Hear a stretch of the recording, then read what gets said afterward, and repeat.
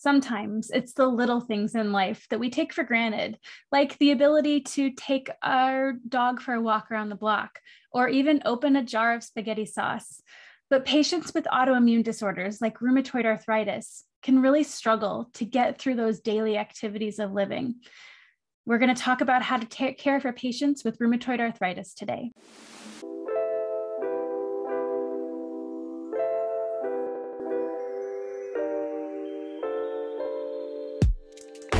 Okay, so let's go ahead and talk about rheumatoid arthritis. Now, arthritis we know is inflammation of joint spaces, right? Itis means inflammation, arthro for the joint.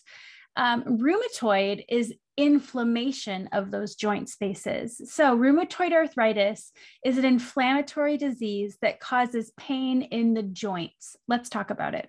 Rheumatoid arthritis is an autoimmune disorder where the body's own cells start attacking itself and causing inflammation and swelling in the joint spaces. And we get into this kind of bad, vicious cycle where the um, the body attacks itself, which causes inflammation, and the inflammation causes more attack and can really lead to not only pain and inflammation, but ultimately um, disfigurement and um, joints not working the way they're supposed to.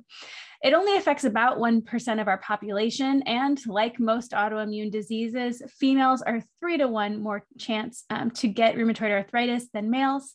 Certainly, if you have a first degree relative with rheumatoid arthritis, that puts you at higher risk. Other risk factors can include exposure to cigarette smoke and even some kind of bacterial or viral exposure. Remember, with most autoimmune disorders, uh, genetics plus some trigger is what causes disease. So let's go ahead and talk about the pathophysiology of rheumatoid arthritis. Rheumatoid arthritis happens when the body's um, immune system falsely recognizes its own cells as foreign invaders and starts attacking its own cells, specifically within the joint space. And when this happens, it causes damage in the joint space itself. Um, an increase of the fluid around the joint that causes impaired movement and pain, and ultimately joint deformity. Now, this joint deformity can be found in four stages. First, the body mistakenly attacks its own joint tissue, and then the body starts making antibodies to continue to attack its own tissue, and the joint starts swelling up. Over time, as this attack continues, the joints start to become deformed and bent, and these misshapen joints can press on nerves and not only causing bone pain, but now nerve pain. And ultimately, if not treated or not well managed, the disease will create um, bone fusion where there is no joint space left. The bone is just essentially fused in a disfigured position. One defining characteristic of rheumatoid arthritis is that because it is a systemic disease, this typically affects joints symmetrically. So if it's the pinky finger joint on, on the left hand, then the pinky finger joints on the right hand are also going to be involved. If the nef- left knee is affected, then the right knee is also going to be affected. And that's one way that you can differentiate rheumatoid arthritis from other arthritis like osteoarthritis. So bilateral symmetrical joints um, are affected.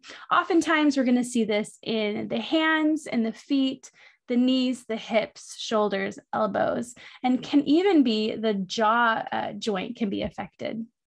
So this is just a zoom in of what that joint space looks like. And you can see the multiple processes that happen due to this inflammatory response that cause joint deformity. So there is an increase in the fluid in the joint space itself called the synovial fluid. The synovial membrane becomes inflamed and enlarged and swollen and tender. And then the cartilage, which typically is works like a bumper cars to keep our bones from grinding on each other. Well, the cartilage gets more thin and broken down so that it's more bone on bone. And then eventually it's causing bone erosion. And in the latest, last stages of rheumatoid arthritis, uh, there's so much uh, inflammation here that the bone just kind of fuses together and is completely immo- immobile at that point. Typically, patients um, who are diagnosed with this um, if they don't go into remission within their first year, are most likely going to be disabled within 10 years of the onset of this disease. So the uh, joint disfigurement, disfigurement really progresses over time. So how are we going to know how to diagnose someone with rheumatoid arthritis? Well, we're going to look for those signs and symptoms. The first sign and symptom is morning stiffness that lasts longer than 30 minutes. Just really hard time getting those joints moving in the morning.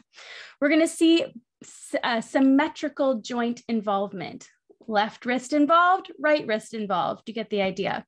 And we're also going to see other organs can get involved, and we can see systemic um, signs and symptoms involved with rheumatoid arthritis that we wouldn't see in other kinds of arthralgias. Ultimately, also, we're going to see this irreversible joint damage and disability that happens over time. Now, there are some specific uh, types of joint deformities that are common with rheumatoid arthritis, especially as it comes to the hands. We can see this boutonniere's deformity, where the finger is kind of held up in the joint and it gets disfigured that way. Uh, we can see the swan neck deformity um, that also is, is very characteristic of a deformity of rheumatoid arthritis. Or we can see this ulnar deviation that happens um, kind of pushing the hand out to the side. In addition, we can see rheumatoid nodules where this the joint itself will become swollen just around the joint and um, feel you can feel and palpate the nodule there. So these are some of those common joint deformities specific to rheumatoid arthritis. Okay, let's talk about testing and diagnostics for rheumatoid arthritis. Now, in terms of um, diagnosis, we're going to look for those signs and symptoms of rheumatoid arthritis. By, uh, bilateral symmetrical joint involvement, morning stiffness lasting more than 30 minutes, and seeing some um, other organs involved or some, some systemic reactions, um, things like kidney disease, um, generalized fatigue, malaise, um, can all be indicators of rheumatoid arthritis.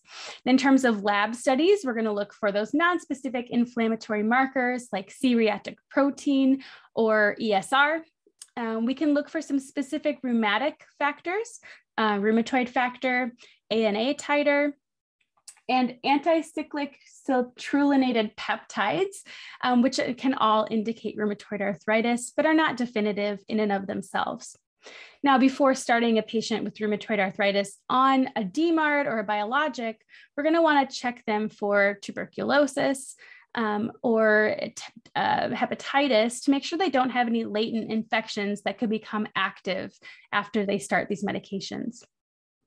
Now, in terms of radiographs, x-rays are going to be important to look for the severity of, uh, joint damage and in joint involvement, but really MRIs and ultrasounds can be more specific although more expensive. So patients will oftentimes have a combination of those different radiographic studies to follow the progression of their disease over time. So when a patient has rheumatoid arthritis, remember there is no cure for this autoimmune disorder.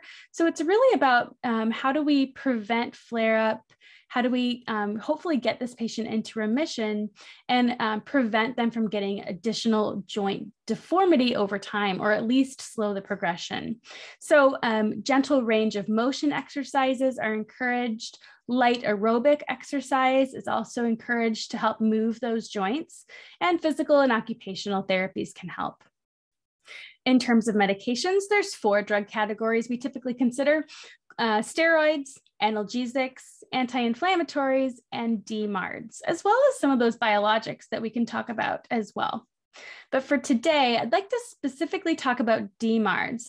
Now, DMARDs are short for disease modifying anti-rheumatic drugs. It's a category of drugs that have come on the market specific to rheumatoid arthritis and all of them in different ways interfere with that immune response where the body is attacking itself. And so, if we can kind of stop that response from happening, we can slow or stop the progression of these disease. I do want to talk about a few specifics um, as we consider DMARDs. So some examples of DMARD medications would be methotrexate, hydroxychloroquine, uh, and sulfasalazine. And all of these are going to alter the immune system in some way to reduce inflammation and therefore reduce joint damage. Now, because um, the when the patient takes these medications, it could um, activate a latent infection that the patient has in their body. We want to make sure we test them for hepatitis and tuberculosis before starting these drugs. And let's talk a little bit about methotrexate as an example of these medications. So methotrexate is taken weekly. Um, we monitor carefully for hepatotoxicity. And if they take it with folic acid, it can help reduce some of those side effects like oral ulcers that can occur. Um, the methotrexate is teratogenic, uh, meaning that it can cause um, significant uh, birth deformities. And so patients on methotrexate should not uh, get pregnant. In fact, when I worked in the ER, if a patient had a tubal, a tubal ligation where um, the embryo was lodged up in the fallopian tube instead of the uterus, which is not sustainable for life, we would actually administer methotrexate um, to uh, spontaneously abort that um, the embryo from the fallopian tube. And so it really is a very potent drug um, for embryos and fetuses, which is why we don't want patients to be taking this um, if they're pregnant. And then because um, this is metabolized by the renal system, we would use a lower dose for patients with renal insufficiency because they're not going to excrete it as fast. Surgical management for rheumatoid arthritis can include joint replacements when those joints are just so damaged that they're so painful and, and really um, lack any mobility in those. Or patients may have bone fusion, which is not going to help with range of motion, but can relieve pain, especially when it gets to the point where it's just bone on bone in those joint spaces. Now, complications of rheumatoid arthritis can include decreased function and again, um, the possibility of permanent disability and permanent joint uh, deformity. Um, it can include infection because these patients are so busy fighting their own cells that they really have a hard time fighting off foreign invaders like actual infections. Um, and the medications that they're on also cause immunosuppression. And cancer is also a complication of rheumatoid arthritis. As always, let's talk about the nursing process, ADPI, as it pertains to taking care of a patient with rheumatoid arthritis.